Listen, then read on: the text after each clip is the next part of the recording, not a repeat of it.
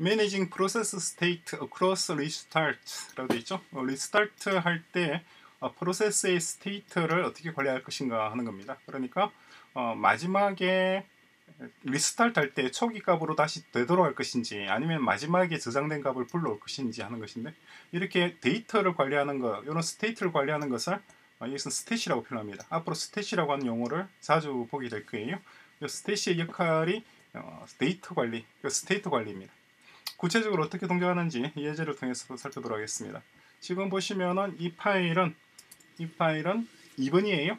그러니까 시퀀스 OTP 슈퍼바이저에서 2번 시퀀서 이 파일을 열어두었습니다. 그러면은 이전과 좀 달라진 게 있습니다. 달라진 게 어플리케이션 내용도 좀 달라지고 서버는 그대로인 것 같은데 stash라고 하는 새로운 파일 하나 만들었어요. 어떤 점이 달라졌고 여기에 달라져서 어떤 역할을 하는지 같이 한번 보도록 하겠습니다. 먼저 프로그램을 컴파일 하게 되면 start가 이제 어플리케이션 여기 있잖아요. 얘를 구동을 하죠. 얘를 구동하는데 children 해서 하나가 더 추가가 되었습니다. 그죠? 어, 그러니까 여기 이게 추가되었죠. 어, 근데 추가된 것도 순서가 중요합니다. 어, 순서가 왜 중요하냐니까 어, 뒤에 나오는 것이 앞에 나오는 것의 종속적입니다. 그래서 앞에 있는 얘가 만약 다운된다면 뒤에 있는 얘는 자동으로 다운됩니다. 그 반대는 아니에요. 그리고 이전에 sequence 서버에 있던 1, 2, 3이란 값을 stash로 옮겨뒀죠. 그죠? 이제 이 값이 초기 값을 stash가 관리를 하고 있습니다. 자 그리고 달라진 부분도 strategy에서 이전에는 one for one이었는데 지금은 rest for one으로 이름이 바뀌었어요. 이게 어떤 의미인지도 좀 살펴보도록 하겠습니다. 그리고 서버 코드 내용도 보시면은 이제 start link 해서 뭐 gen server start link는 이전과 거의 차이가 없는데 요 값이 이전에도 nil이었던가요? 뭐 어쨌든지 그리고 이제 next number 있고 increment number 두 개를 호출하도록 이렇게 구성이 되어 있죠. 그리고 어, 마찬가지 init과 handle call 여섯 개의 어떤 대표적인 필수적으로 있어야 될 function들 중에서 네 개가 이미 구성이 되어 있습니다. 그 중에서 보시면은 이제 init을 데이터 init을 할때 서버가 어, 자기가 데이터를 받는 것이 아니라 sequence의 stash의 get을 가지고 불러오죠. stash에 있는 get 어떤 거예요? Get, get, get 얘를 호출한단 말이에요. 그죠? 얘기를 호출해서 이 값을 통해서 서버가 이니셜 한다는 것이고 나머지 call과 cast는 동일합니다. call과 cast는 동일한데 또 달라진 게 terminate라는 것이 하나 추가되었죠. 그죠? 아마 terminate가 사용된 최초의 사례인 것 같은데 이 서버 프로세스가 갑작스럽게 중단하게 되면 얘를 호출합니다. 호출하는 것이 stash, stash의 update를 호출하고 되어 있어요. 그리고 current number를 전달합니다. 그죠? stash update를 보시면은 요겁니다.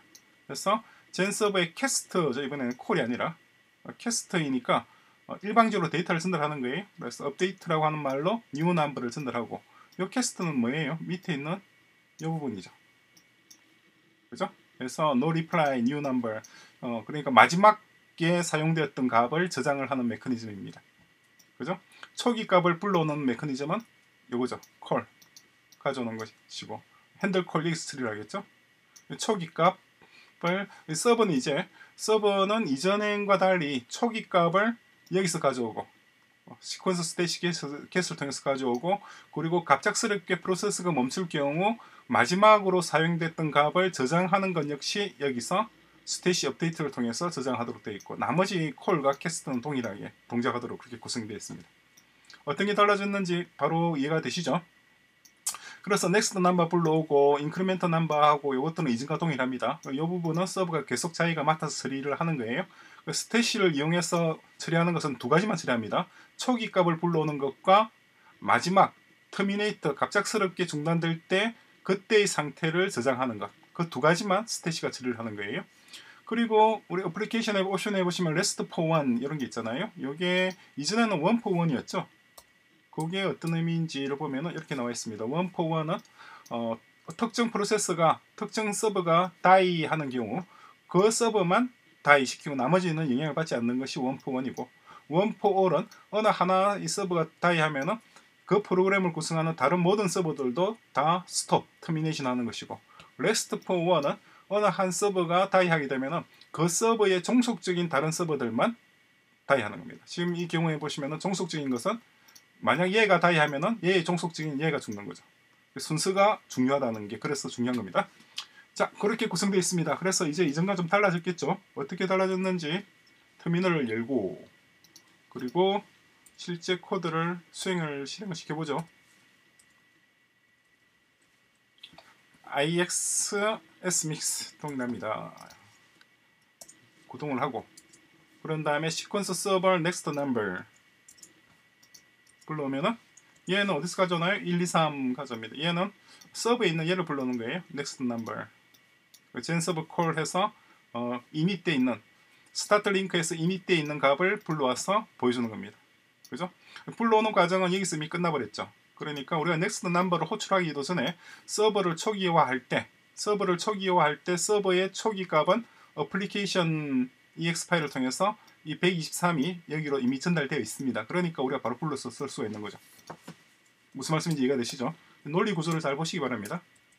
그리고 지금 이 과정은 다 서버 모듈에서 처리하는 거예요. 서버 프로세스가 처리를 하고 있는 겁니다. 그렇죠?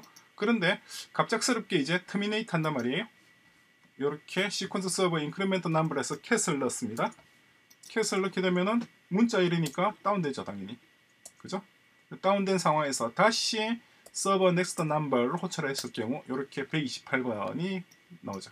마지막으로 저장됐던 값을 불러오는 겁니다.